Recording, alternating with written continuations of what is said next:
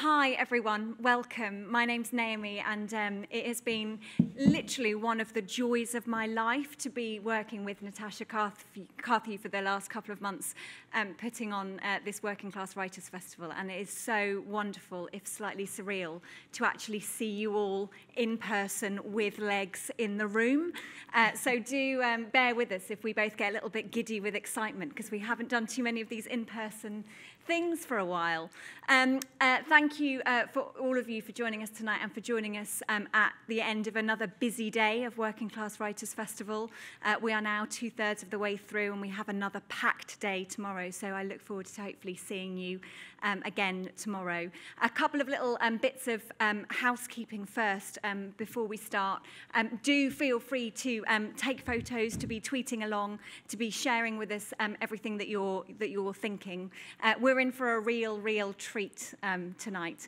Um, so tonight we are really, really blessed to have Terri and Cash with us. Now, I know you might be thinking, hang on a minute, there's only one other person on stage with you.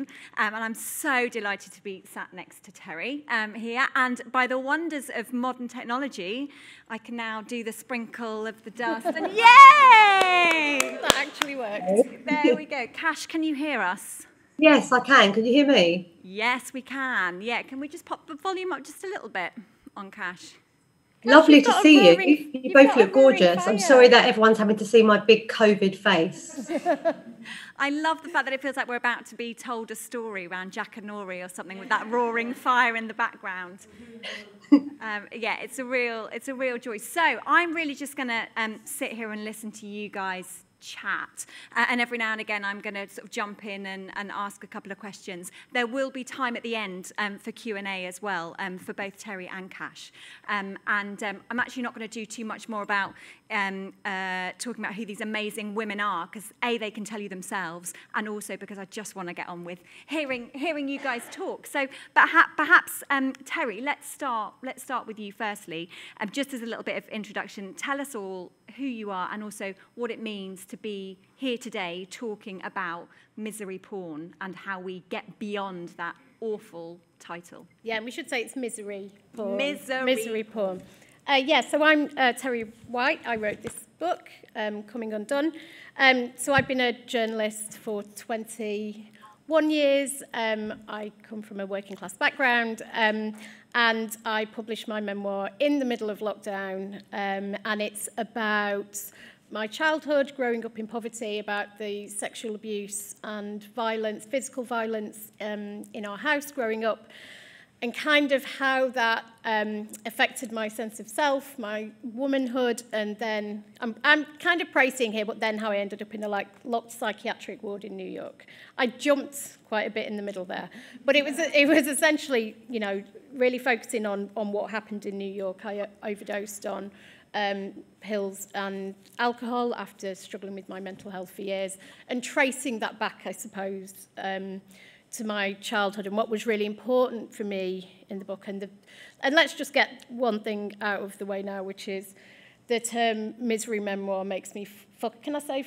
fucking? Okay. Say whatever you like, Terri. Makes me fucking raging, quite frankly. Um, and me and Cash have talked about this before, and we'll get into it. But the way that it's used to diminish us and our stories, the way that it's used to reduce us to essentially the content of our stories, the way it dehumanizes us, all of these things I think are really important. But what was important for me in the book was to be incredibly honest about my experiences, to not care about palatability, to not care about um, making it okay and comfortable for people to read. That wasn't my job. My job was to, to tell the truth.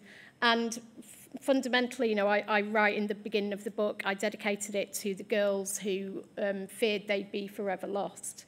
When I was growing up, I was told quite a few times that I would never be anything, that I would never be anyone, that I would always be lost. And I think for years, I felt like because of where I'd come from and because of what had happened, that I would always be lost, that I'd never find my way back to myself. And I did. And I think um, I wanted to speak to those girls who were like me. And I remember thinking that I was the only girl in the world going through this, that I was the only girl in the world who felt violated and isolated and entirely disposable. And I hoped that just by writing the book, I'd be able to reach out to either the girls who were going through it themselves or the women that they'd become. Um, can't remember what the question was, but basically, uh, that's a bit about the book and a bit about me. And, oh yes, why it's important to be here, because um, I think often at festivals you'll see there'll be like a working class slot or a slot for working class women. Um, I think that actually being in a room with people, with writers who there's a sense of recognition, there's a sense of your experiences, not necessarily being mirrored in the exact same, but we have a commonality, um, we have shared concerns, um, we often are searching for truth, we're searching for authenticity, and just being in a room where we can talk about this stuff openly and honestly and have really interesting conversations, um, I find incredibly, incredibly exciting, and I think this is an incredible, incredible festival, and I'm very excited to be here.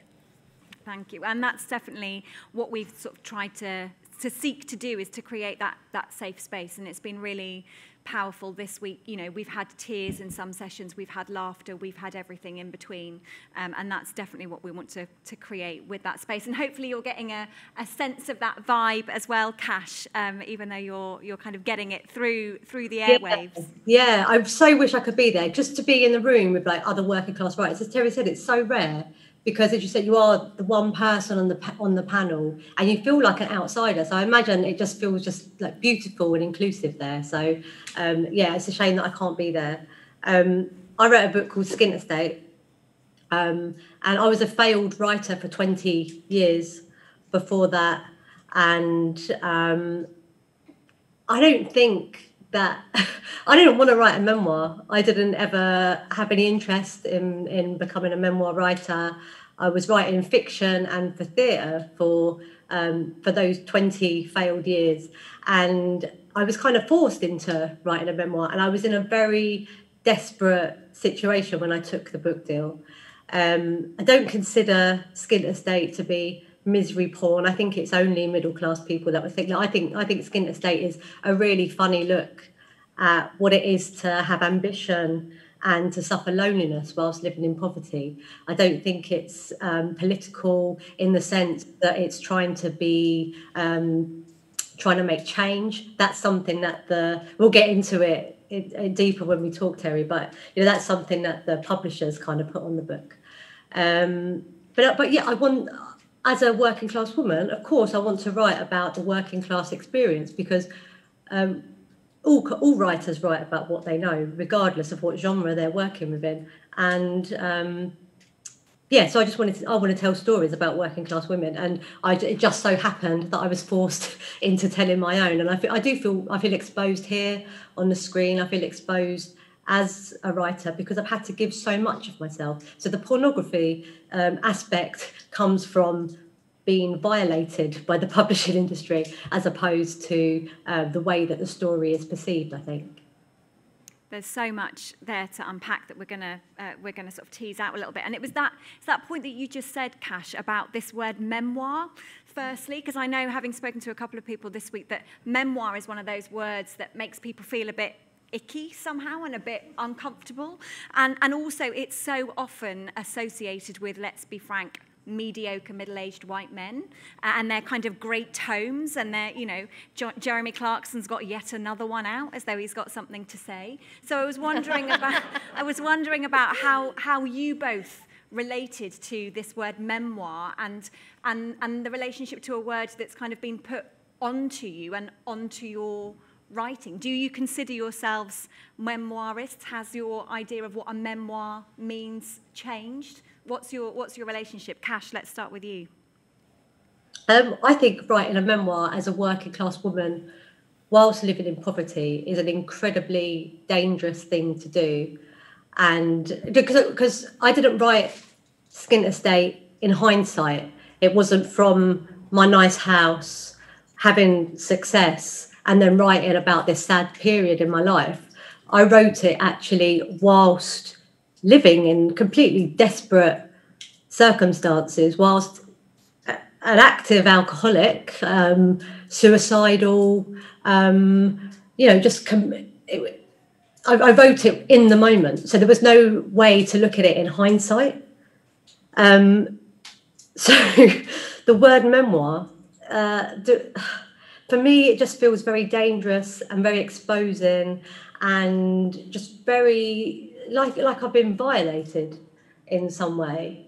Um, and of course, like you would think that it's um, a choice that it was a like a, it's a choice to write a memoir. And i think for many people it is. And i think i think for terri perhaps it was because she'd had this long career and, and and wanted to say something. But for me it was like a a route in to being something. And i had no other choice but to do it so memoir doesn't feel like a friendly way to write it doesn't feel like a nice thing to be doing um, I don't know. What do you think, Terri? You, your your your views are very different. I imagine. I just uh, I just I just think it's oh, what all I know is that I was put in a lot of danger by writing it, and the way that I've been perceived since is because of that that memoir. Like I'm kind of stuck. That makes sense. But I think that that context is really important because I think what Cash is describing as, as that's her story. And for me, memoir is, is, just kind of means a true story. I don't really have a problem with the term. I have a problem with the perception of the word. So I think especially memoir by women is not considered literary. Memoir by working class women certainly isn't fucking considered literary, especially if it deals with abuse, if it deals with violence, if it deals with anything that is unpalatable. That's where the misery memoir term comes from. We were talking about this earlier. Some people don't see the difference between this and between a story and take a break. for example, because all it is is the shocking tale of X, Y, and Z. They don't see it as art. They don't see it as something you've crafted. They're not interested in the craft or any of that.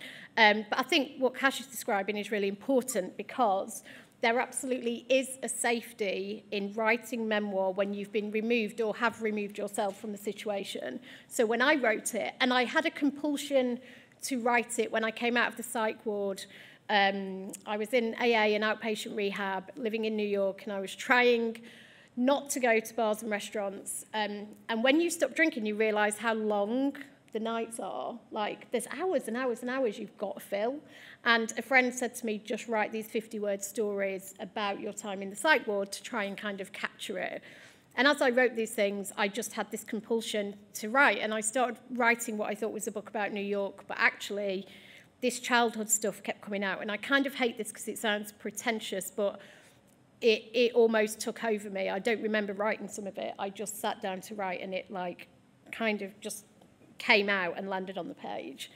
But I was in a place of safety, let's be clear. So I was in a good job. I edited a magazine in New York. I had financial security. That was entirely my choice, and, and that narrative was mine to own. And what Cash is describing is something very different, which is that wasn't fully her choice. But I think actually what makes Cash's book so powerful, and we know each other because I read Skint Estate and basically found her on Twitter and DM'd her going, holy shit, I have never seen anything like my experience reflected in a book like that. It just knocked me for six. I was just obsessed with this book. There is a power in Cash's book which comes from her writing it while sat in that experience because what we are used to is we will allow you to be a storyteller because you're now middle class, because mm. you've got yourself into a different position, because you have been redeemed, because you've been through this three act thing where you can look back on these sad days. You are acceptable to be able to tell your story. It's very rare for somebody still in that situation to be given the platform. And, and maybe in this case, actually, you know, that wasn't fully within Cash's control. But I think part of the sheer kind of visceral power of Skint Estate is because that's where she wrote it from. Mm, yeah, I mean, I, what I struggled with was so, sorry to interrupt. Um, was was the fact that um, I wasn't allowed to be an artist. It was almost like I wasn't really allowed to call myself a writer because I was like someone from Take a Break magazine. And a lot of the times, if you see like middle class people will do a memoir and they'll get the opportunity to write lots of think pieces in broadsheets about what brought them to write that memoir, how it happened, and you know there'll be some really interesting pieces that they can write. when my book came out, I got a request, or my agent got a request from Woman's Own um, would would Cash like us to tell her story? I mean, my book had just come out. You know, I mean, my book was on the shelf. You know, it was, it was reviewed quite well. But women's magazines, I was still the fodder of Take a Break magazine and Chat magazine and Woman's Own, and I was just someone who had got lucky. Like I wasn't an artist who had toiled over these words and constructed this story in this way that I wanted to tell it. I was someone who was just spewing up on a page and was saying, please listen to me, please help me, which wasn't the case at all because, you know, a lot of my favourite writers, Bukowski, uh, Hubert Selby Jr., they write from the gutter. So in my mind, when I was writing it, like I was writing from the gutter. I wasn't writing as a piece of trash in the gutter, which was how I was perceived by the press. Yeah, I mean that's, um, um, and it just shows. I think that whole conversation about how just how radical what both of you have done is, and and actually how radical it is to to to to show a whole, full um, visceral experience of what it means to be a working class woman. It's, it's not just, you know, here's, here's all of the shocking stuff. It's not here's just the kind of the confessional, but actually to, as you've both done with your books, to, to show everything that it means to be a working class woman and to, to hold your own and to own your story within that space. And, and it feels radical reading it off the page, um, which is, yeah, which is just incredible. Cash, how did you, how did you feel did, did you feel and how did you feel safe and supported in the in the writing of it and how what what lessons, I suppose, can we learn for other women to say, look, your story is important. How, how, how, would you, how would you give some advice to someone in your position who's got that story to tell now? What yeah. would you have loved someone well, to I was, I was very safe when I was writing it. I was living in my council flat. I was medicated by alcohol.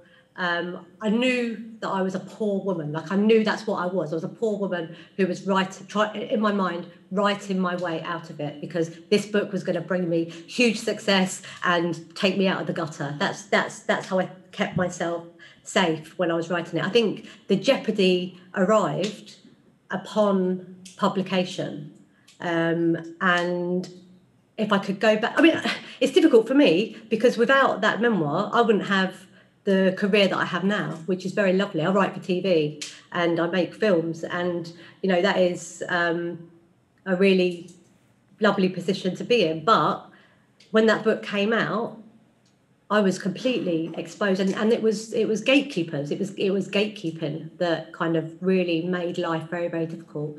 So I would I would say be really clear on what you want to write. Like when you're when you're working with publishers be honest because perhaps I was dishonest. You know, when I was saying, "Do you want to write a memoir?" I'm like, "Yes, yes," because I could only I could see that as my only escape, my only way to ever get published because no one was publishing my fiction. No one uh, oh, plays don't make very much money. So I would say be really honest with your publisher, and if you don't want to publish memoir, then don't do it because it can, it will it will only lead to trouble.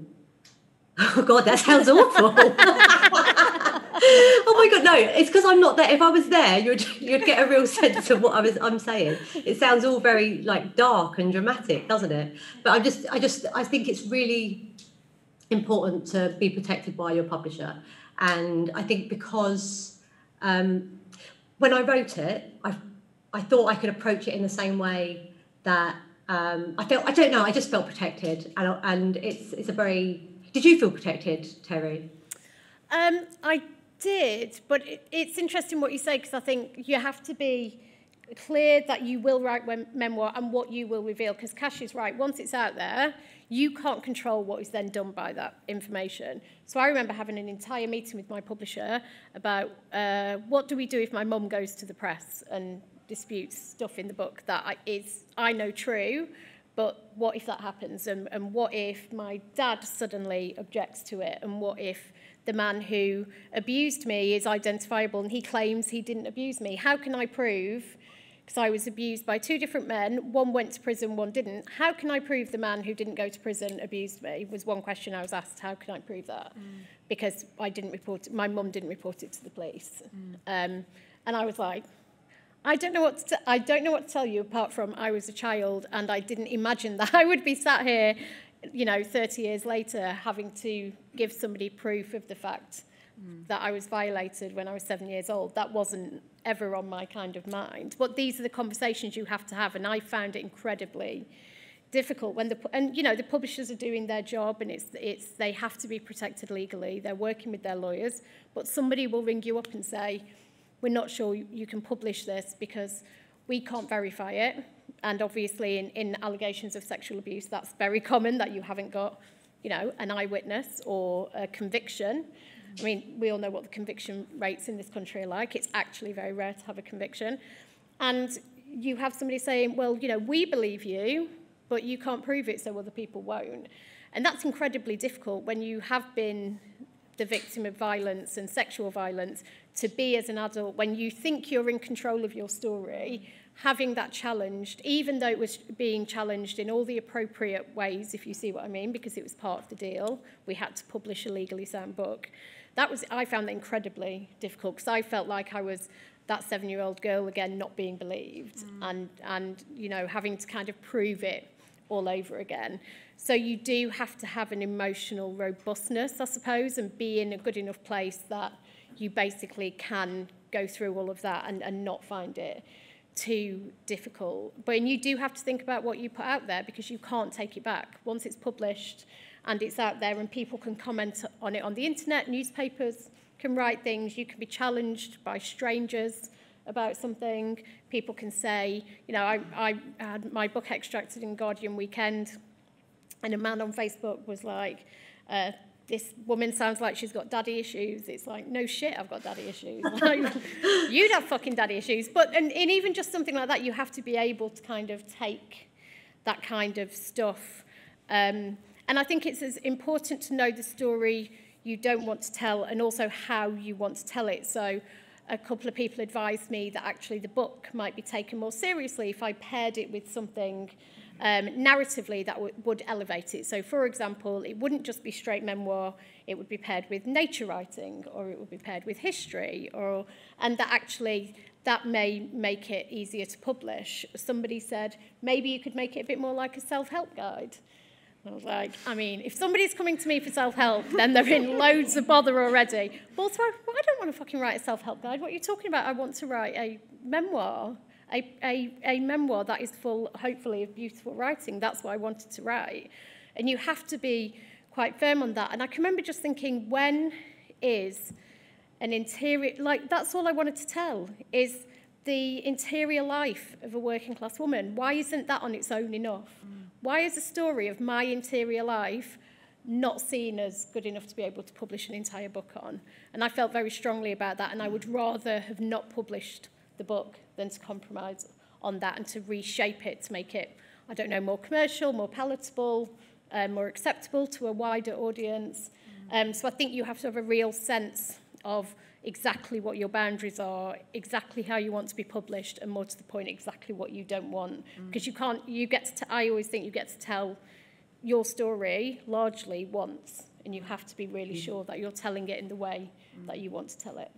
I think there are probably a couple of words which are resonating, potentially, particularly with women in the room at the minute. One, which is the phrase taken more seriously, and the other one is being believed. Mm. And it just, again, sort of resounds the fact that this is such a radical thing that you're both doing.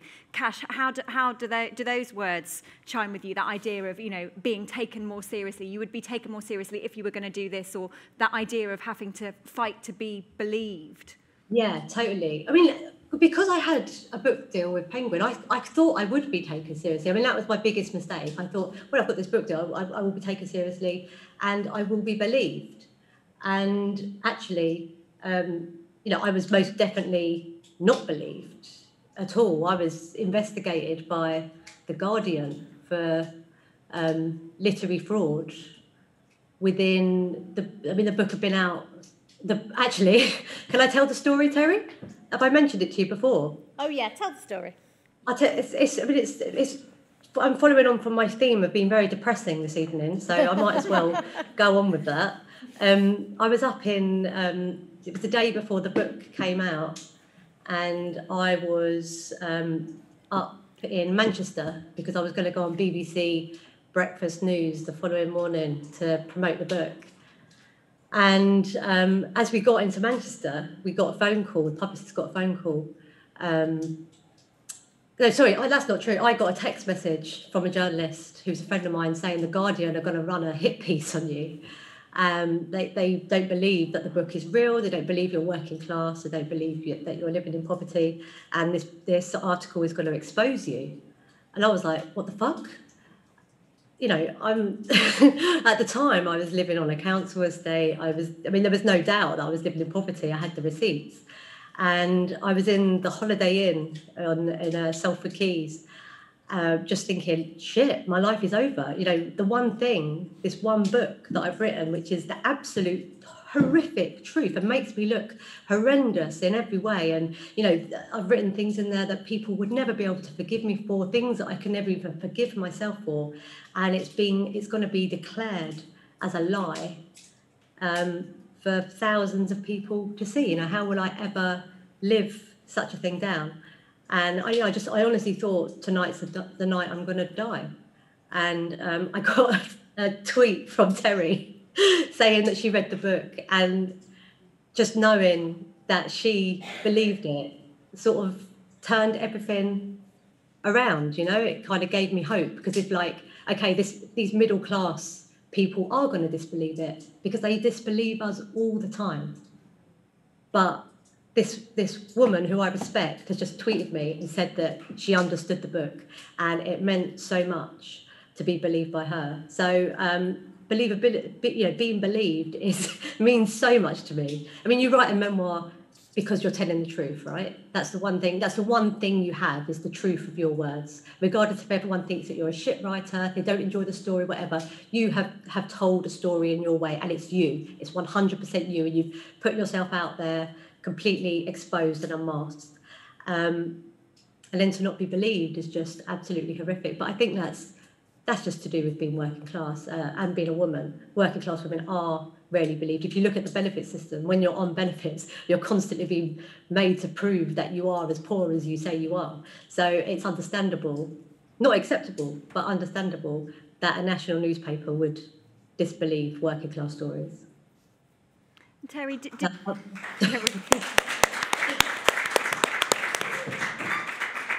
Terri, did you feel any of that resonance when you sent that tweet to Cash?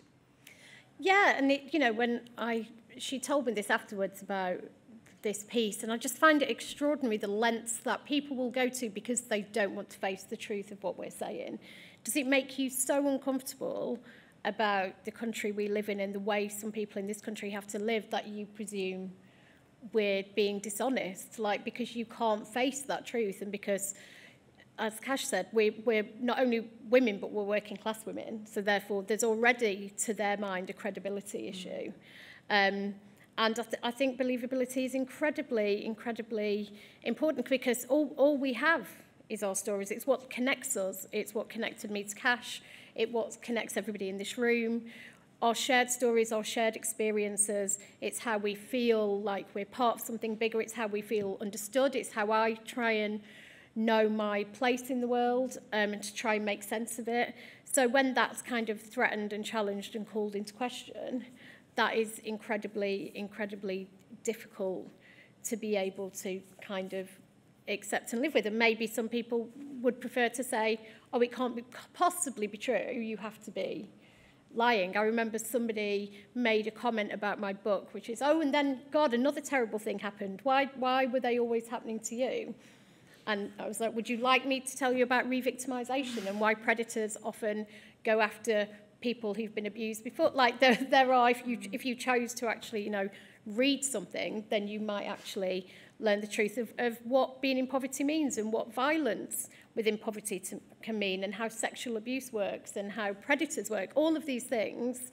And so I just think it's a complete refusal to want to, to see those, those parts of society and our experiences that make them mm. uncomfortable. And I suppose not only that, Terri, but I was also thinking that it's also about um, not wanting you to be artistic, you know, not to be able to use it for artistic expression because we are considered like said, like sad specimens. So it's okay for us to tell a very, very sad story and, you know, to be patted on the head and called brave and say, oh, it must be really cathartic for you to tell that story. But if you were to kind of mold it into something artistic, something entertaining, then it's, it's suddenly considered a lie. Like, for example, I think that my book was purposefully entertaining mm. and purposefully funny. And yes, there were sad parts to it, but overriding that was a real swagger about you know saying fuck you this is this is a i'm going to tell this story in a way that's almost like um where i kind of place myself as the anti-hero and you know to for someone to do that it's such a brazen act that they could they couldn't possibly believe that it's true because I'm not conforming to the, you know, oh, thank you for the opportunity to write this book. Thank you. It's so nice of you to let me speak, you know, and I'm going to tell my story in a very sad way. And if you don't do that, then your believability is kind of thrown out the window, perhaps.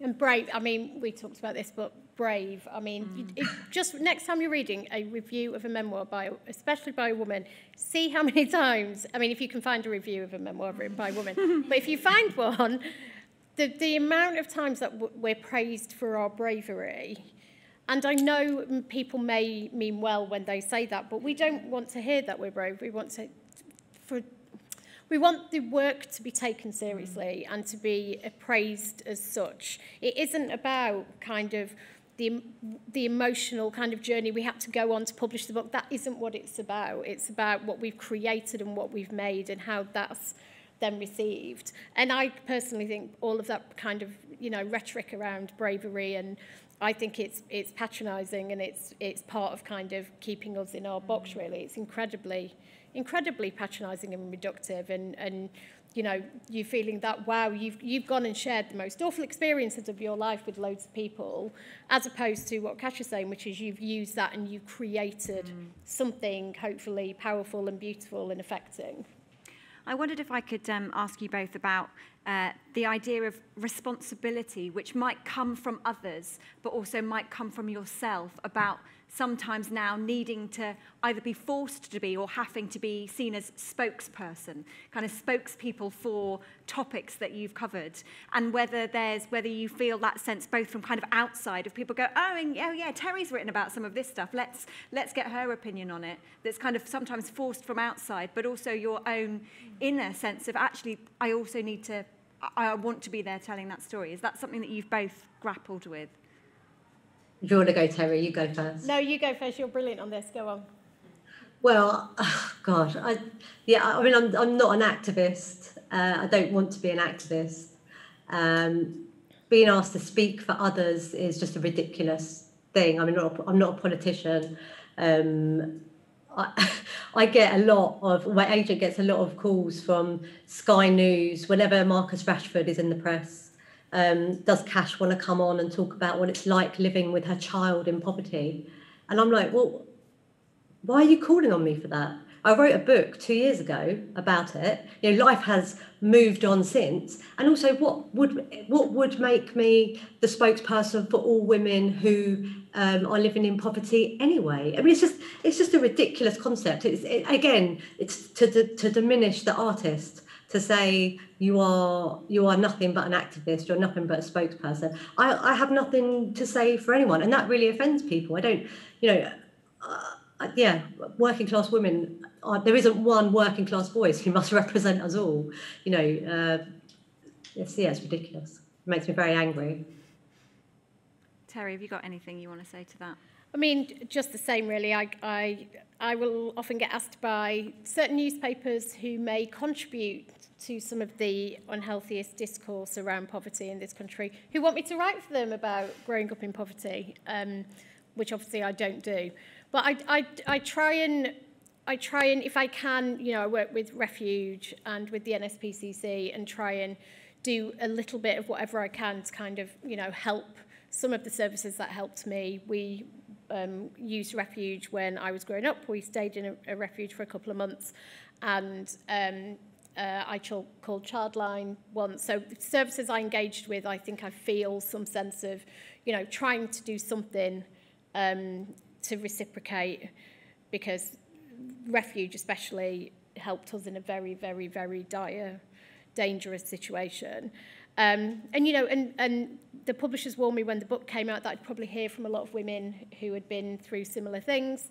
And I did. And that was very affecting, really, because I think often those women would want to hear that everything was great now, mm. that like, um, you know, I, I have a child now and I have a boyfriend and I, none of that is in the book and I don't end, there's no happy ending in the book. Um, I didn't want to conform to that three act structure because I think that whole redemption narrative, especially when you're dealing with mental health and lifelong trauma, mm. is incredibly dangerous and just untrue. And so I really resisted that. But, you know, people often get in touch with me and say, you know, your book didn't have a ending. Can you tell me you're, you're all right? And I, I've seen on your Instagram you've got a baby. And they kind of want that sense of closure for me and, and redemption for me and, and that being something that they could mm. reach for as well. And that's a responsibility I feel uncomfortable with because you know the the trauma doesn't go away. You learn to live with it and you learn to sit alongside it. My mental health issues will be with me my entire life. And I would never and actually I feel like the bigger responsibility is not presenting an incredibly simplistic naive version of recovery and you know I, I left behind poverty and I left behind abusive situations and then I, you know, and everybody loves the fact you've had a baby. It's like, wow, you've had a baby, amazing. You must be a healed human being. It's like I haven't slept in two years. Like if anybody thinks having a baby is going to kind of fix their mental health, yeah, it doesn't. But um, but yes, yeah, so I think that's a bigger, almost as bigger, if not a bigger responsibility, um, is actually not presenting a incredibly false representation that then people can't live up to. I used to read memoirs that were like, and then had a baby and you know live in Ohio on a farm. And I'd be like, I'm never going to live in Ohio on a farm. I'm never going to have a baby. I'm still fucked, you know. And that, that would actually make me feel more desperate and more kind of far away from where I wanted to be. So I think the, re- the keeping the realism and, and the truth at the forefront is really important to me. It is, though, really hard to, to kind of take on that responsibility as well because it's not like you have the answers. Because no. you wrote a book about your own experiences or your own opinions, like it, you, you don't have the answer to if so you know someone says what is how do you solve child poverty i don't know because all i did was write about some things that happened to me. And it is really uncomfortable when you know people do feel like they can offload their experiences to you. It's it's it's quite damaging. And i know and you know you put yourself out there. So you know you're presenting yourself as you know someone who's gone through this. But then when someone actually comes up to you and shares those experiences whether it be a dm on twitter or you know at an event or something it's really really quite hard to deal with, I think. Mm. Um, I don't want to leave questions to the end. Um, I want to sort of make sure that this is as much a kind of conversation and dialogue. So, um, is there are there any questions from the audience at, at this point? With, as you can tell, there is still so much more that we can we can talk about. But I didn't want to sort of feel as though questions were just being left to the end, and there were there was an energy that was saying, actually, I've got something to say. And it doesn't even need to be a question; it could just be a response. If there's anyone that wants to say anything at this point. No pressure. Well, I mean, I think that's one of the things, just picking up on your point that you've just made, is um, one of the things that really makes both of these books leap off the page and sort of grab, I mean, like grab you in the face in the most beautiful, powerful way, is that they're complicated. And the relief of being told a story that's complicated. And again, it just makes me think that's I mean, it, it's sad in a way that it's radical, but it is radical to see complicated women's complicated lives. And they're not just, you know, as you say, they don't fall into that kind of three act structure. And then at the end, you know, it all, it all happened. Um, and yeah, I mean, that, that, that complexity is one of the things that really comes across from both of you. I suppose one of the things also is where, where do you go after that? Having, having kind of, you know, really, as you say, Cash, exposed yourself, how do you then, how do you then go, okay, now what? How do I how do I take myself next? And how do you navigate that relationship with a publisher or an agent who might then be trying to steer you either in, in a certain direction or, or in another direction? Well, I went into hiding, and that I found that that was quite a useful thing um, to not be on show. Um, and I, I was quite lucky that I got a TV deal um, a few months after the book came out. So I've been working in TV since then as a writer. And um, I find that TV is, is just so much kinder to working class writers, especially women. There's a real thirst for female stories, I think, um, in TV and film. And just the way that the publishing industry treats women is very, very different to the way the TV industry treats women. Like I'm, I kind of have autonomy to tell the stories I want to tell when it comes to television. But with, um, so I, I, had another deal to write a second book, um, a prequel to um, Skint Estate. And I just decided that I would hand in, I, I handed back my advance. Um, I wrote, I actually wrote the manuscript, and then I just thought, it's actually a better book than Skint Estate, I will say.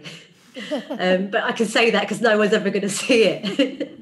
um, but it's um, I just handed it in because I just didn't want that kind of exposure anymore. I, I, found it best to retreat. I think if you come out with a memoir, first of all, you you have the opportunity to either continue talking about that same subject forever, because that's the only thing people will let you talk about, or you can retreat and find another medium to tell those stories and that's that's where I feel safer being.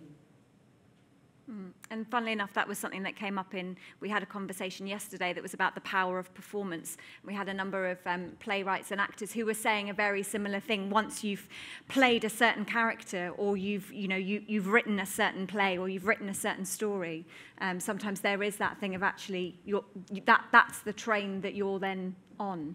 Um, how did you navigate some of that, Terri? Well, I had my other life. I was um, the editor-in-chief of Empire magazine, and that was my day job. And I hadn't written personal journalism for the first 10 years of my career because, you know, journalism is essentially telling other people's stories. And when kind of confessional journalism came in in the, you know, late noughties, I really resisted it because I was very conscious that I hadn't worked through the stuff well enough to be able to actually write about it in public view. And I didn't want to be known for that, quite honestly. I wanted to develop a reputation that wasn't built on my personal kind of tragedies, I suppose, in some respects. And it's always been really important to me since the book came out that I keep that other side of of my writing. So, you know, I, I write about film and culture, and um, I try and limit now the number of personal pieces I do, partly because I haven't got anything much, I just not that I haven't got anything much to say, but you know, I that book was everything I wanted to say, and it was the things that I really felt like I had to put on paper. And, you know, somebody said to me, Are you're going to write a book about having a baby. Why? like, having a baby is a really common thing, and loads of people have done it, and loads of people have written books about it and columns about it. And how many times we read that column by a man going, oh my God, I had a baby, here's a column about fatherhood. um, I don't need to contribute to that. So I, I, I, I'm thinking about another piece of nonfiction, but I don't think it will be anywhere near what I've done mm. so far. And I'm working on a, a novel, and my book has been bought for TV. So I'm, I'm kind of trying to move away from it a little bit because, exactly as Cash said, you, your phone will ring and somebody will say, can you come on and talk about poverty or can you come on and talk about sexual violence? And there are moments when I think your voice is important and then there are moments when you need to know that your voice isn't mm. important mm. and it isn't the right moment and you don't want to be speaking on behalf of, mm. of all women. Um, so I think you have to know where and when to insert yourself and, and when to stop. Mm. One of the really powerful things sitting here and, and feeling your spirit through the, through the waves, Cash, is the power of female friendship and female connection and this kind of, you know, this bond that, that, that the two of you have. Um, even though we're not together physically in the room, it feels tangible. And I wondered if either of you wanted to say anything about that, about the, the kind of the, the solidarity of female connection and whether some of that has sort of surprised you in, in this way. Well, I think I always feel connected to um, female working class storytellers because there's so few of us. And there is, you're ultimately going to have that shared connection, even if your stories are completely different, because you're in a unique position of being able to tell them and you see the strength and vulnerability that that brings. Um, so when I, you know, when I read Terri's book, you know, I, I, I was saying to her earlier that there were certain points, and I'm, I'm quite I, quite I, I, like horrific things. I, I, like seeing horrific things, reading about horrific things. But there were certain points in Terri's book where I just had to look away from the page because I cared about the woman so much. So um, yeah, I, I, I think yeah there is a solidarity between working class women when we share our stories. Am I right or not? I'm just sat here shaking my head. No, but it is because there, there is so few of us, and that you know that's why I contacted Cash in the first place because I couldn't believe what I was fucking reading in a book that was published by Penguin. Like it, it's still extraordinary that these stories are being told, and I think that in and of itself is extraordinary. Um, and you know, I think I certainly have always. Oh, Somebody is having a lovely time outside. I, I, don't know if you can hear the dulcet tones of Bristol men singing "Sweet Caroline" Cash from um, from the think, Zoom call. I think they're agreeing with us on female solidarity. Yeah.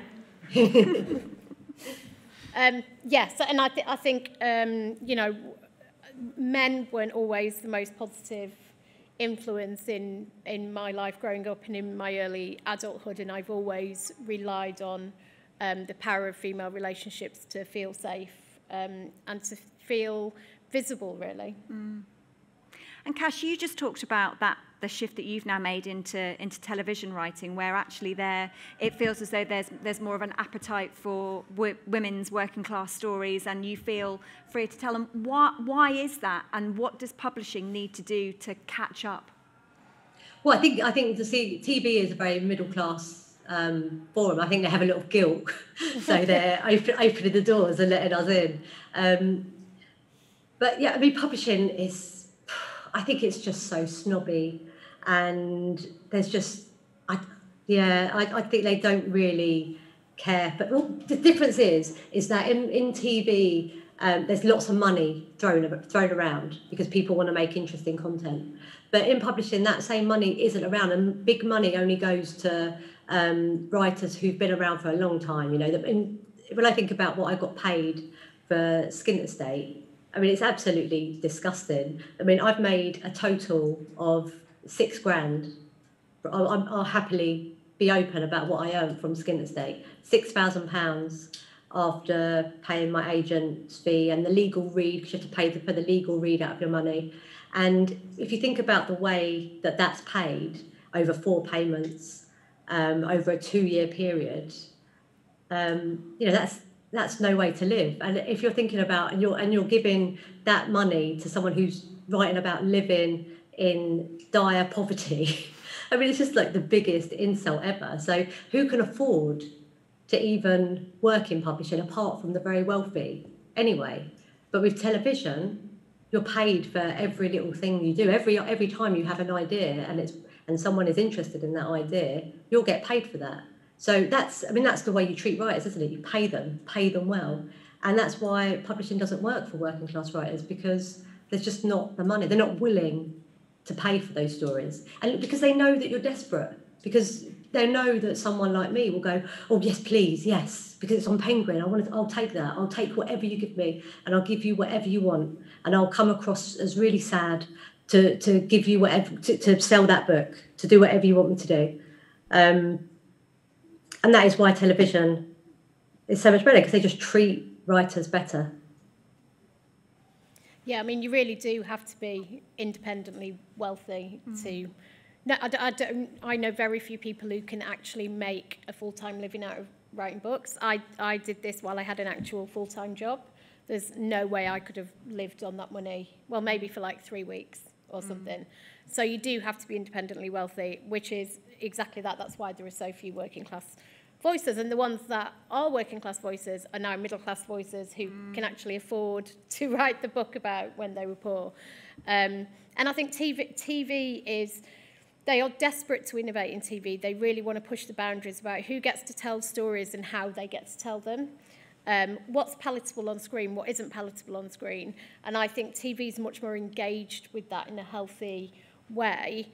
You know, I, I very strongly wanted to write a graphic book and um, I was very lucky in that my publisher, Canongate, was really up for that. They're a, an independent publisher. They're quite into boundary pushing, but most mainstream publishers, I'm sure, wouldn't touch it with a barge pole because it's got graphic descriptions of sexual abuse, it's got graphic depictions of physical abuse, of self-harm.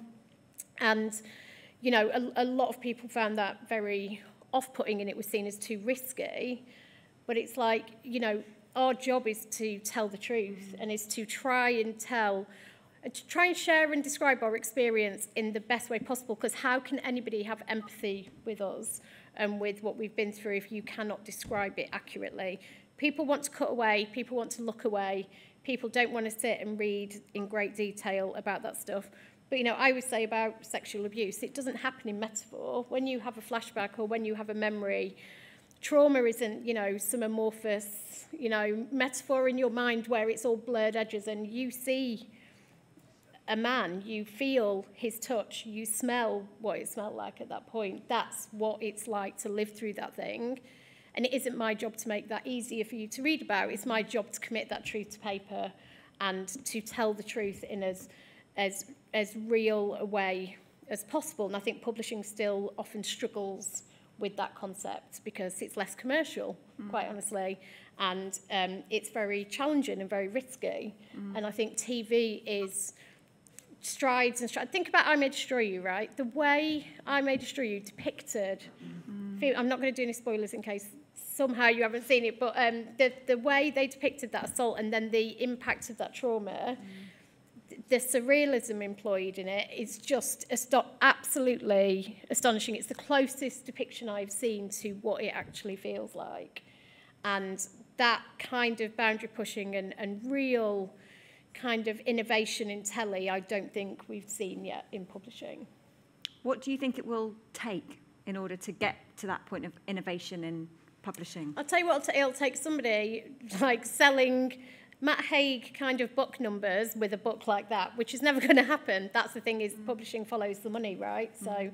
there needs to be a number one bestseller and then and then suddenly everybody will want that book, but that's I just don't think that's going to happen.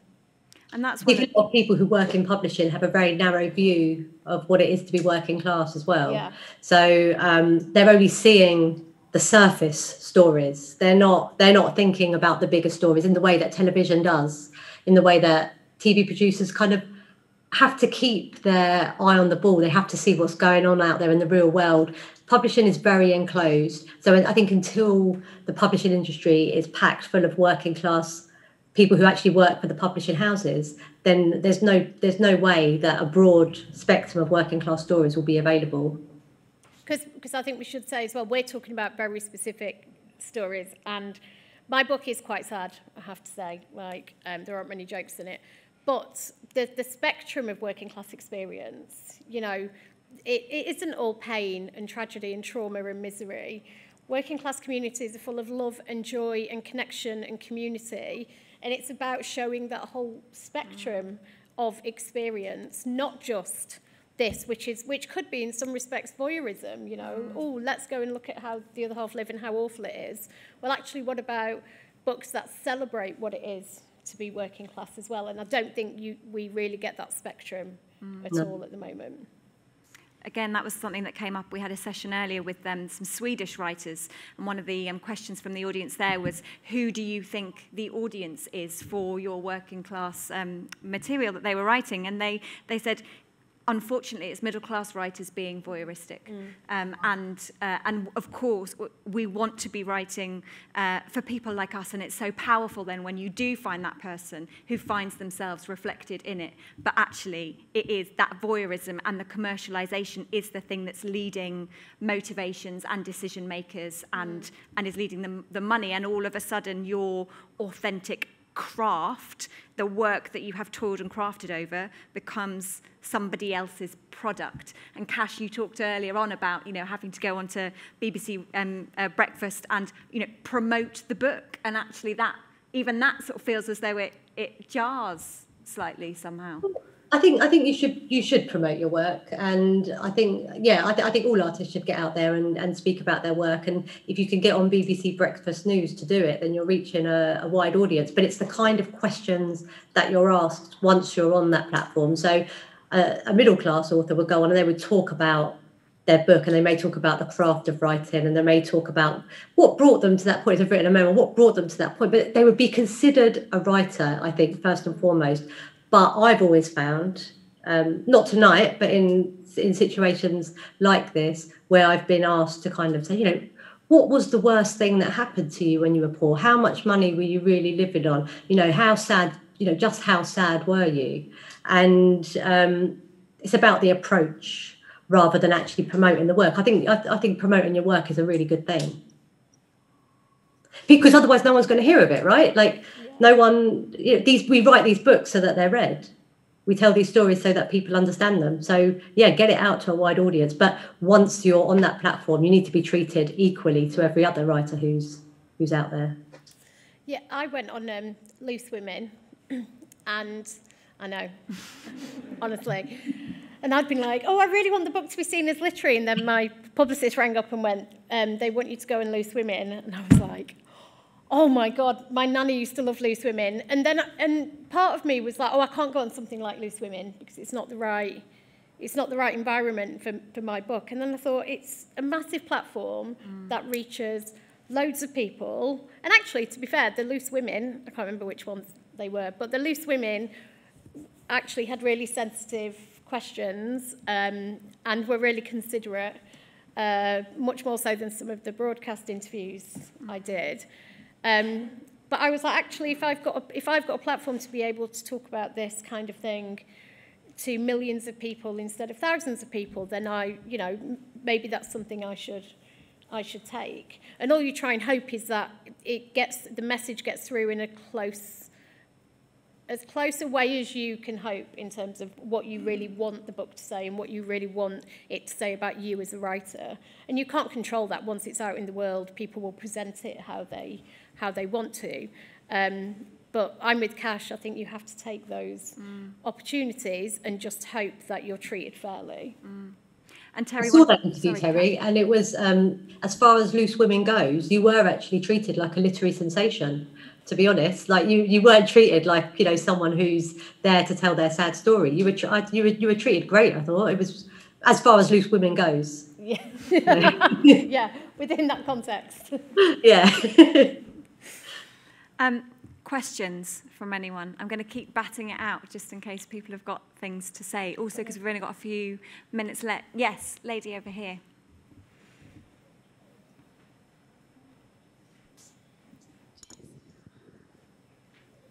Hiya. Um, thanks so much for everything you've been speaking about. It's like a fire lit under my ass, if I can be frank, because um, you just you just don't get to be in these spaces and speak frankly like this and listen to people in this way. I don't find. Um, so Terri was saying something about um, trauma being with you and living with it and living alongside it, and um, I've been really thinking about how specifically writing changes the way trauma feels in your brain and your body and how like that process what it does to it um, because it, it's never, it never goes, it's always there. But what, so I wanted to ask both of you personally, what, did, what, did you, what do you find when, you, when you've written so openly about traumatic experiences? what does the actual process of like sequencing them and getting them out of you and onto the page if if it if that does something noticeable what how would you describe that change and what that does for you um, well, when I first was writing it, as I say, it, it wasn't intentional or strategic at all. It, it kind of was demanding to be written, really, and I just went with it. And I didn't, um, I usually write by writing a bit, editing it, rewriting it, and I can't, I'm a bit obsessive and I can't move on to the next paragraph until that one's perfect. With this one, I just threw it out the window and wrote everything, stream of consciousness, um, page after page after page, and then came back to it.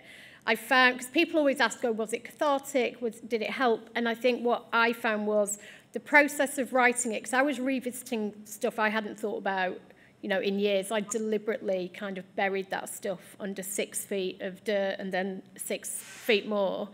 And unearthing it and really digging into it um, was in, an incredibly painful process, I have to say. I had to do it in like a few hour slots and then walk away and then come back to it.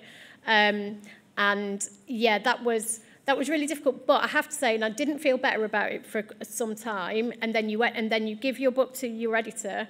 They come back with edits on the most painful and awful thing that's ever happened to you, and they're asking about the repetition of this verb. And I was like, felt incredible. That I found that incredibly difficult because you're handing that bit over.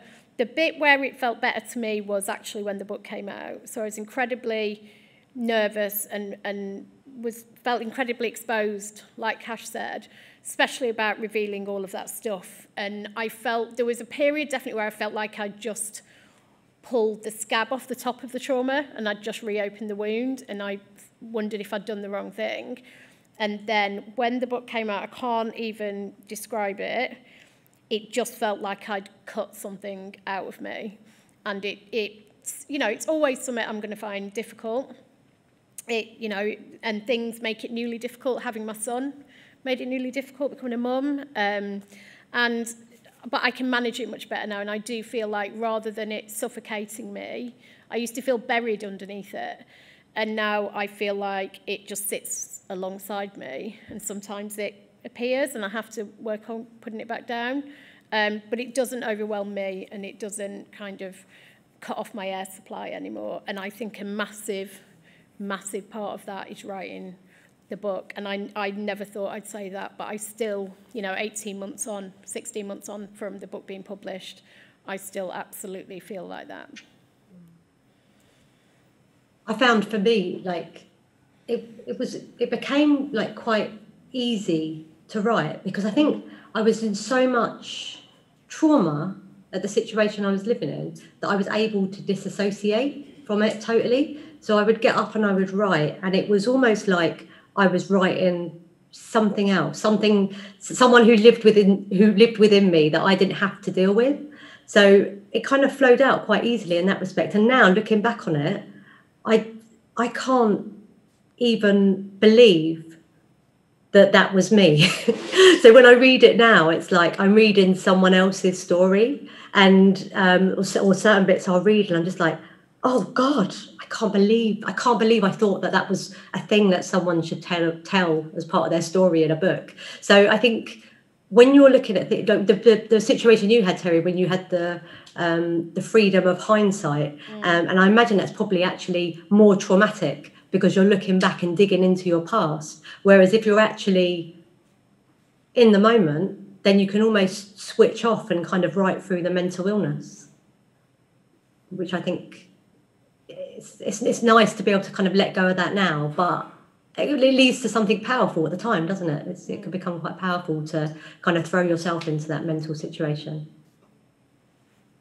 I hope that was helpful because I understand. like when I, I used to go to things like this and I'd ask questions and I'd, I'd like, yeah. I just I hope I hope that that makes sense to you. Um, yeah, another question here at the front.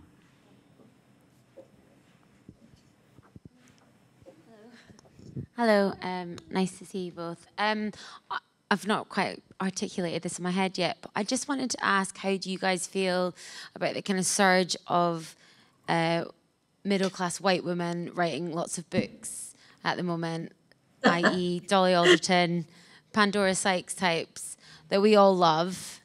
how does that fit alongside your kind of genre and um, and within you sort of mentioned it within publishing, um, everybody loves kind of exploitative working class story, and I feel like it's sort of yeah. How does it fit alongside these big books that are coming out right now, and this, you know, Dolly, all that kind of popularity? Sorry, I've not said that well, but do you understand what I'm Yeah. saying? Cash, do you want to take this one? No, thank you.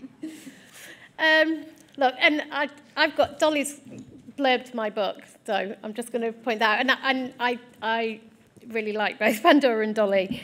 Um, so this isn't about them, but, but I suppose what I would say is, because I think, you know, women being published generally is a brilliant thing, especially young women, because again, young female, especially fiction writers, have long been dismissed as trivial and having nothing to say, and that's always slightly pissed me off. But um, I think I think there is still not enough room for working class women, for women of colour. I think that the publishing industry is trying to do more about diversity and inclusion and representation.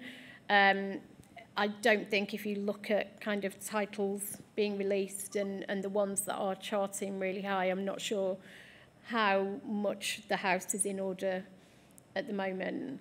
Um, but I don't, I don't want to criticise those women because I think, but I, I know what you're saying.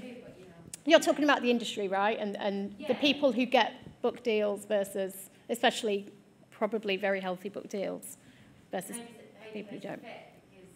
Well, I don't think we do. I don't think we do fit. I don't think we fit within uh, any of that. I certainly don't feel like I fit within any kind of literary scene or anything like that.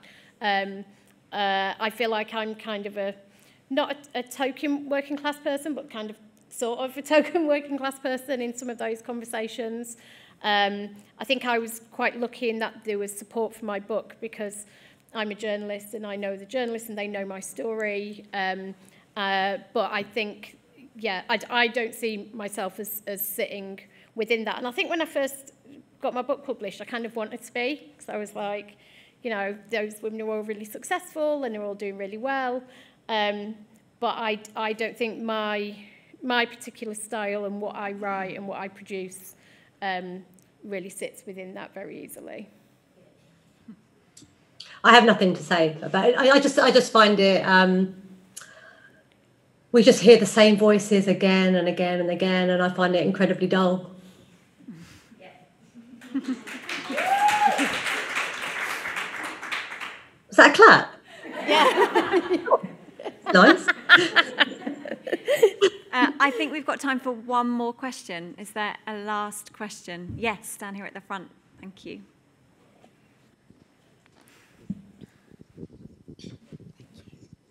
Thank you. Um, on that note, apart from each other's, what women's working class art or writers and stuff at the moment would you recommend? Because it is it still feels like you have to dig this stuff out and find it. And is there anybody you're reading at the moment or historically that you'd recommend to us all?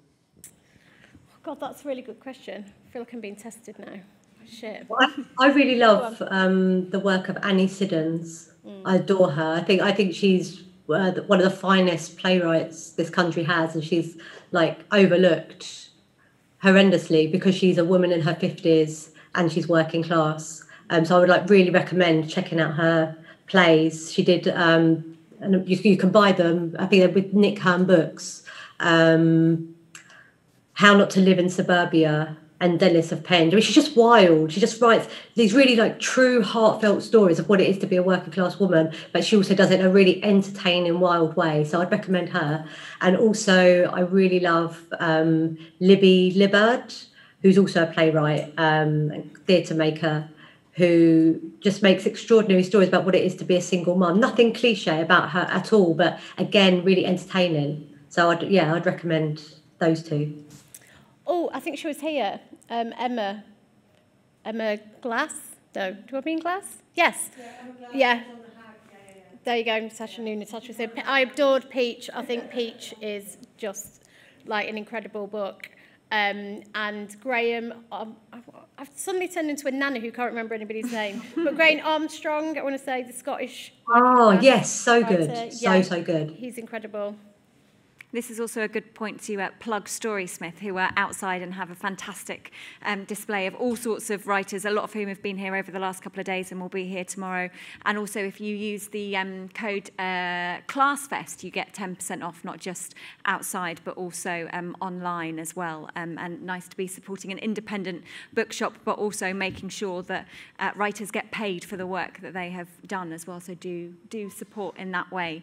Um, I can't believe that we're out of time um, already. Um, Cash, thank you so much for being here and actually for inviting us into your house as well. Oh, Um, thank you. Thank you so much I was going to say, it looks like the fire's gone Fire's out, gone so I hope you're not uh, too cold. I'm good. I've got a fever. I've got COVID, haven't I? I'm dying here. Um, thank you so much for, for joining us, particularly as you say with, um, with with being poorly, and we hope that you get well soon and feel better soon. And thank you so much for making the effort to join us over Zoom in these odd Thank and you. funny Sorry to cause you so much trouble. Thank you. Um, uh, thank you so much, everyone, for being here. Do um, come and join us back again um, tomorrow. Do feel free to um, to stay stay around in Watershed afterwards to continue to connect, to continue to have conversations. Um, but most importantly, thank you so much to Cash and Terri. If we can all show our appreciation.